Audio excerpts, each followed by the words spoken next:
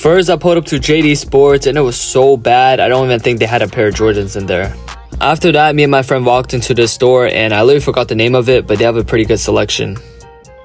Right as if we're about to leave, we walked into Foot Locker. To be honest with you guys, I was only at the mall to grab some teriyaki chicken, but as you guys can see, it's just a bunch of bricks. I ended up picking up these chili nines I made $60 on them. Oh, yes sir. Yes sir.